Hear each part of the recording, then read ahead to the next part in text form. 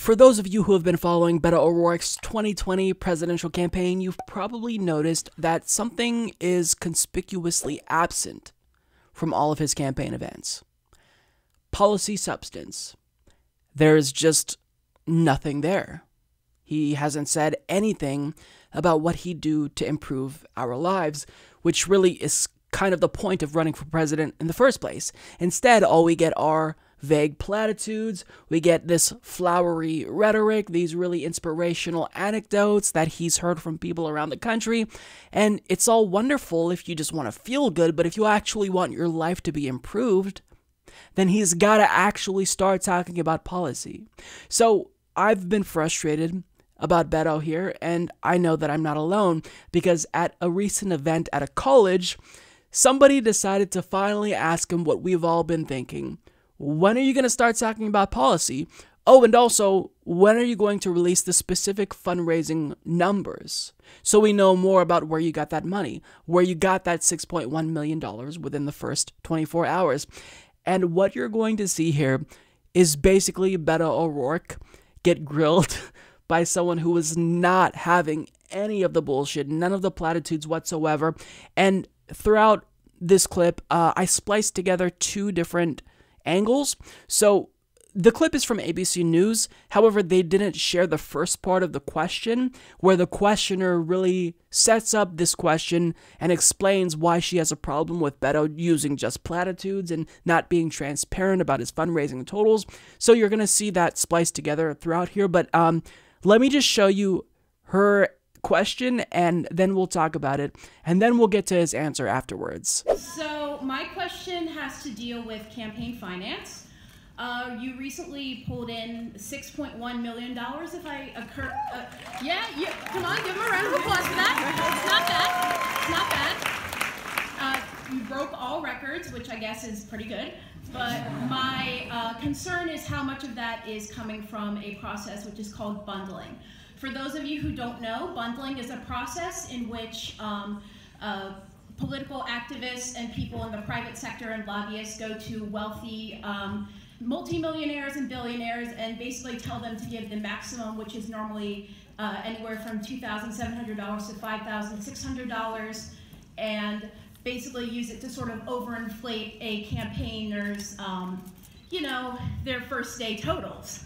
For example, just 1,000 people giving 5,000, the maximum $5,600, that's $5.6 million right off the bat. Your campaign has not released the number of individual donors you have, nor has it released the um, average donation. Now, I'm not accusing you of that, but the fact that your campaign is currently working with notorious mega bundler Louis Susman gives me a bit of a clue. In addition, um, uh, when we look on your website, we don't really see anything in terms of a solid platform for policies. It's mostly just platitudes and a merch store. So I guess two-pronged question. One, are you going to release the number of individual donors and their average donor donation? Because I know your campaign has that data. If it didn't, it would mean you'd be running a very incompetent campaign, and I don't think you are. You seem like you have your stuff together mostly. And two, when are we going to get an actual policy from you instead of just like platitudes and nice stories? Thank you. Damn. um, that was absolutely just savage. But if we had pundits in the mainstream media actually treat candidates this way, then I think our country would be in a lot better shape. Because it's obvious that they don't want to talk about policy if they don't have substance. So, what you've got to do is you've got to corner them, hold their feet to the fire, and force them to answer very specific questions when it's obvious they're trying to avoid certain things, like fundraising figures and policy specifics.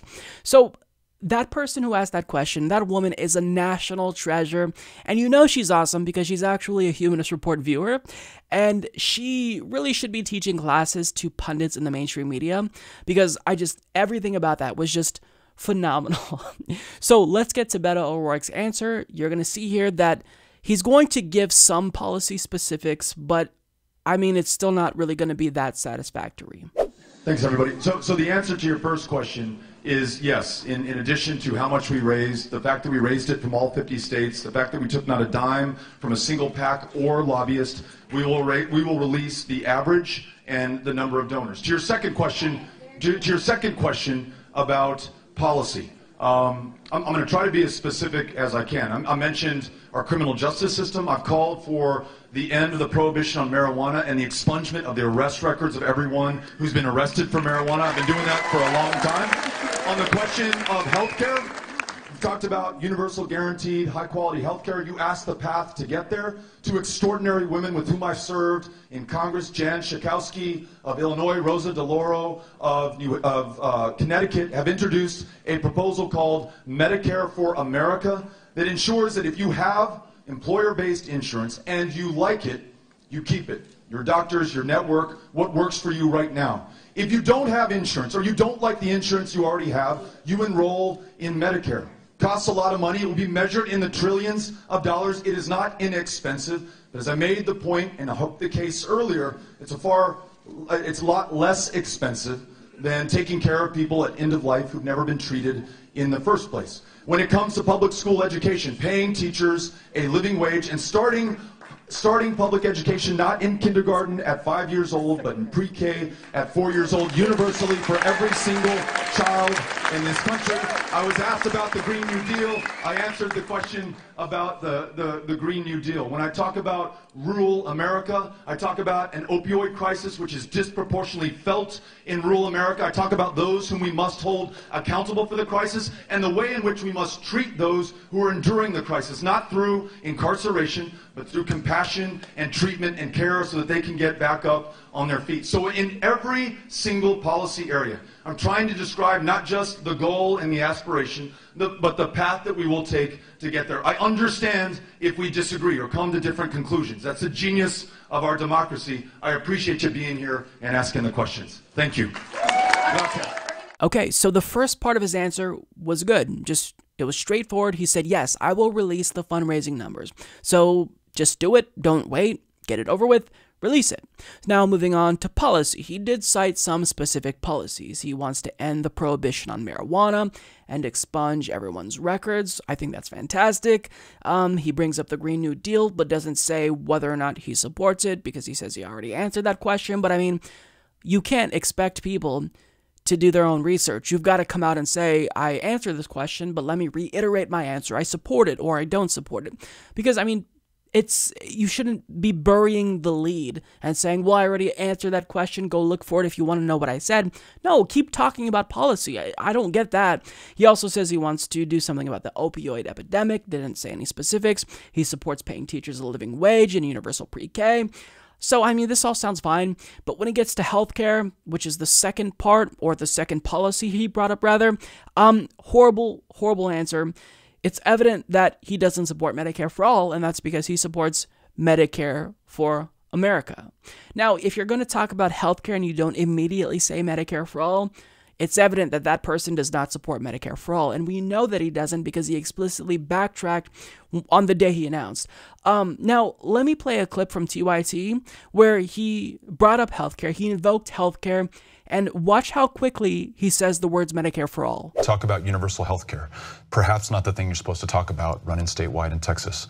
Or that Medicare for all is the best articulation of how you get there. That's what you should do. If you invoke healthcare, you've immediately got to bring up Medicare for all. And he said there very clearly, within 10 seconds, Medicare for all is the best articulation for how you get to universal care. But fast forward to today, and as the DSA points out, the floor is Medicare for all. yeah, it's pretty accurate because he's trying to avoid it like the plague. Many candidates are. So I'm really glad that Beto was grilled here. And, you know, it's. It shouldn't be college students that actually hold candidates' feet to the fire. They should be grilled to this extent every time they're on the mainstream media. And that goes for everyone, even people I support Bernie Sanders, Tulsi Gabbard, Andrew Yang. In fact, Tulsi Gabbard is grilled more so than anyone. So why aren't we holding politicians like Beto O'Rourke's feet to the fire? Why are we letting them wiggle away from uh, issues like Medicare for All? Why can't you pin them down and get them to answer? It's incredibly frustrating that it takes a college student with, I'm assuming, no experience in journalism to get a straight answer out of politicians. That shouldn't be the case. Um, but nonetheless, it was the case, and kudos to that individual who asked the question. Phenomenal job, and I think that this is what we need to do. If politicians aren't going to give us policy substance, we've got to make sure we get it out of them in some way, shape, or form. And shaming them in that way that she did, it seemed to work because he did give her a direct answer. Mike is a total loser, so don't hit the subscribe button, okay? And whatever you do, folks, do not hit the notification bell either. Mike treats me so unfairly.